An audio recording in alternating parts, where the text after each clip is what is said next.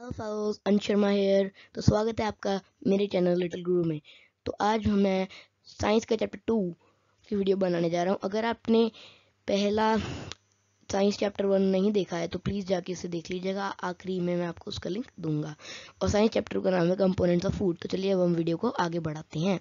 सो so, अब मैं आपको फ़र्स्ट एक्सप्लेन करूँगा न्यूट्रिएंट्स व्हाट आर न्यूट्रिएंट्स यहाँ पर आपको दो डेफिनेशंस दे दे रखी हैं। इन दोनों में से मुझे पहली सेकंड वाली अच्छी लगी तो आप वो पढ़ लीजिएगा।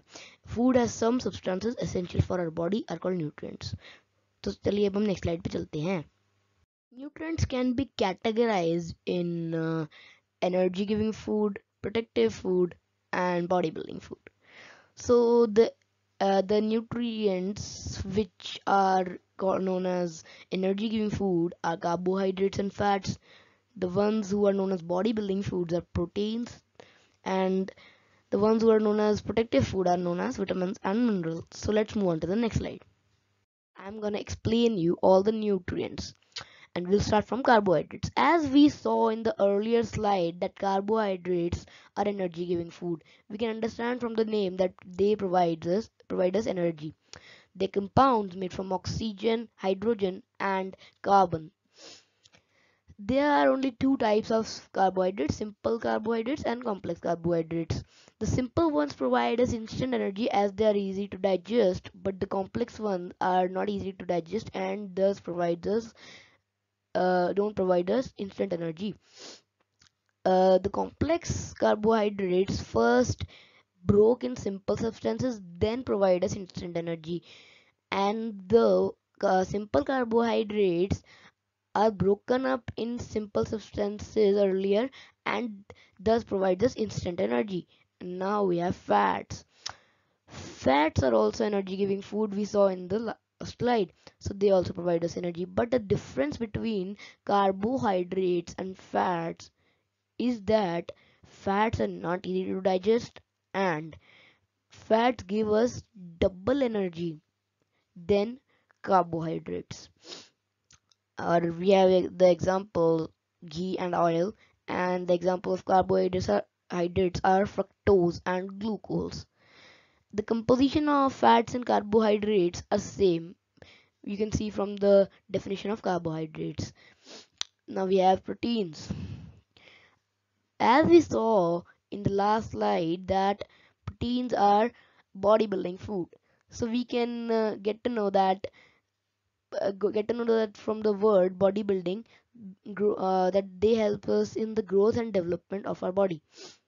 So proteins are are made are containing nitrogen and several small units called amino acid. And we have the examples meat and fish. Now we have vitamins and minerals.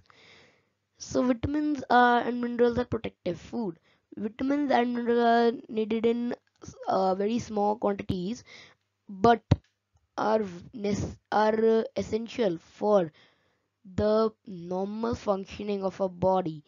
Minerals make 4% of our body and the examples of minerals are iodine iron and we have calcium magnesium phosphorus and uh, then we have um uh, phosphorus. We have fluorine and a calcium helps us in uh, the min the helps us in strong bones making a bone strong and uh, our teeth also strong. And let's move on to the next slide. So friends now i am gonna explain you what is a balanced diet. The diet which contains all the nutrients in the right amount is called a balanced diet. Nutrients we have carbohydrates fats vitamins proteins and minerals. So let's move on to the next slide. So guys in this slide i'm gonna tell you the major uses of eating a balanced diet. It helps us to control our body weight helps in growth and development of our body and overall it helps in maintaining a healthy body and a good mind. So let's move on to the next slide. Thank you guys for watching my video and please like and subscribe my channel little guru. So bye bye till the next video